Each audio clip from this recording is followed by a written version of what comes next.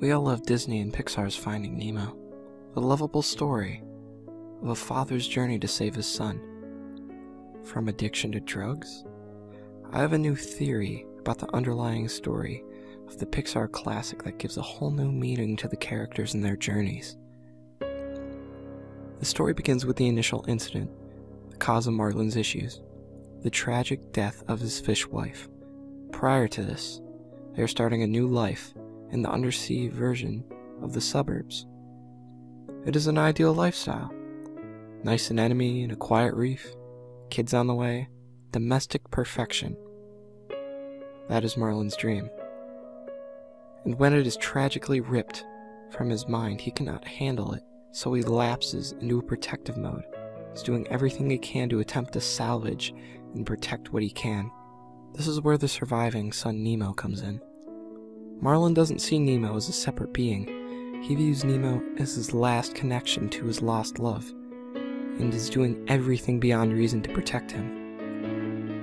Due to this sheltering and objectification, Nemo has the natural urge to experience new excitement. This is illustrated when he jumps out of bed and runs outside into the big bad world, eager for his first day of school. When they arrive at school, Marlin learns that they're going to be dropped off. The drop off represents the physical and metaphorical transition from sheltered suburbia to the big dangerous city. When Nemo and his new friends arrive at the drop off, they play the game of how far can they go? In this situation, the drop off is a metaphor for drugs and themselves in a world of drugs. At first, Nemo's friends start harmlessly experimenting with drugs. None of them appear to be in any immediate danger, Nemo is cautious to enter that world at first, but eager to prove himself. One of the cool kids and decides to take that leap. Just as he is about to go over the edge, Marlin catches him and scolds him for taking on more than he can handle. It is this conversation that pushes Nemo to take the action that he does. Years of Marlin's overprotection gives him the urge to rebel, coupled with the need for an escape from his boring, sheltered suburban existences. This is what causes him to go too far with experimentation when Nemo swims to the drop off. Once again, metaphorically for sinking deeper into the world of drugs, as he goes deeper and deeper. In an attempt to save him, Marlin calls out for him to return to safety. Just as it looks as if he can make a safe return, the diver appears. The diver, later revealed to be the dentist, is represented as addiction. When he captures Nemo, this is when Nemo descends into a point of dependency, almost beyond help, a point where he is not only out of touch with, but is completely removed from the outside world. Marlin, despite his issues, is a good father and decides to go after him into the abyss. This is the point where the drop off becomes a physical disconnect. It literally represents the physical transition from the suburban to the urban world and causes him to descend to the world of drug use. Then mine, and everyone else's favorite character was introduced. Dory. Dory is an ex-addict. This is illustrated by her short-term memory loss.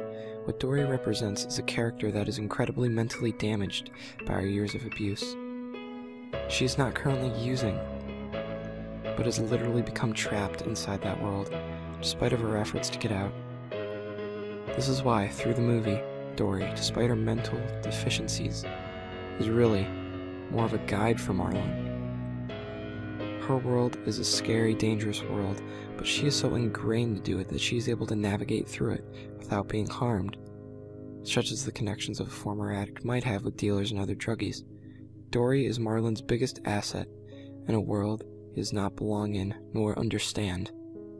This brings us to the sharks.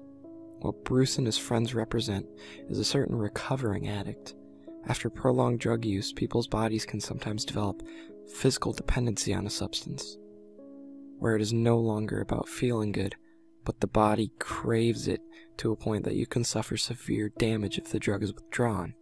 Regardless of the physical dependency, there is a mental recognition of the problem and a drive to change it. The best evidence this is how Bruce, a shark and natural predator, has started a 12 step program for other sharks to stop eating fish this represents an interesting simile a physical addict trying to recover. Cold turkey, like a shark trying to stop eating fish. It is fighting what is or has become their very nature and existence. This further illustrates the hostility and irritability caused by the recovery by showing how one sniff of Dory's blood could send Bruce into a blind, hunger driven rage. Meanwhile, we find out what happened to Nemo. He awakens in a fish tank in the dentist office along with other fish. Tank represents a level of addiction which the addict enters. A maddening and solitary world completely outside of society. Nemo's removal from his ocean represents the level of drug use and addiction which he is completely removed from society. He and the other hardcore addicts, or fish, in the tank have reached a point where they are trying to escape, but the dentist, the addiction, is holding them there. There are lots of clues in the movie that points us to this conclusion. For example, all the fish in the tank are anywhere between nervous or completely insane, from the blowfish who is jumpy and easily excited to Deb, Bluefish, who thinks her reflection is her sister. There's also Gil, who has concocted several fruitless escape plans. The other fish seem to want to escape, but understand the hopelessness of the situation. There are the fish that are made tougher by being able to survive in the level of dependency for so long. It is not uncommon for a new kid in the tank to be killed, which appears to be the fate set for Nemo. He can either escape, or his dad must save him.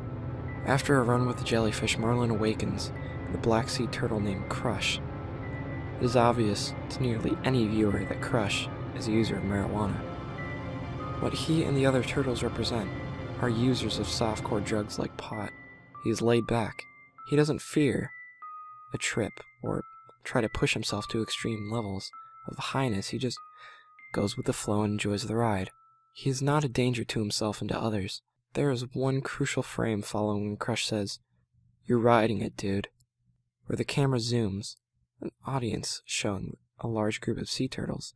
This is illustrating that there are a lot more individuals who use certain drugs and are okay. They can fully function in society. Crush and the turtles are stoners, but they aren't addicts.